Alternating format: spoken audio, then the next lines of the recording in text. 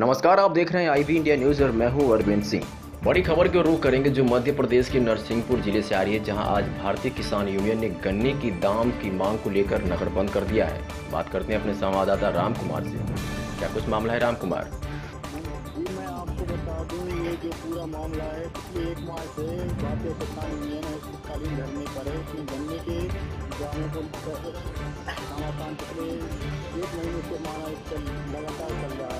जी। भारतीय किसान यूनियन की मांग है कि कम से कम गन्ने का दाम साढ़े तीन सौ तीन सौ पचास रुपये प्रति कुंटल हो।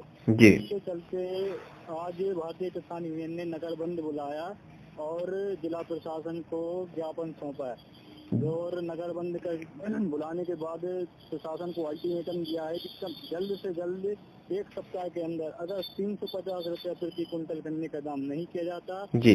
तो भारतीय किसान यूनियन संघ जो है भोपाल जाकर विधानसभा का घेराव करेगा। जी बिल्कुल राम कुमार जी जैसा कि किसानों ने एसडीएम को ज्ञापन सौंपा है तो क्या कहा है एसडीएम ने इस मामले में? एसडीएम की तरफ़ से जो है आश्वासन दिया गया है कि हमारी तरफ़ से जो शासन की प्रक्रिया रहती है उसके तहत हम उसके तहत कार्रवाई करेंगे और जो भी नियमानुसार होगा उसके लिए जिला प्रशासन कदम भी बढ़ा रहा है और मिल प्रशासनों को आदेश भी किया है कि तीन सौ रुपये प्रति कुंटल गन्ने की खरीदी की जाए। पर जो है, मिल प्रशासन जो है, अभी भी गन्ने को 270 दो सौ रुपये प्रति कुंटल खरीद रहे हैं, जिसके चलते भारतीय किसान यूनियन में भारी आक्रोश का माहौल है और अल्टीमेटम दे दिया है जो कि एक सप्ताह के अंदर तीन सौ पचास रुपये प्रति कुंटल गन्ने का दाम हो।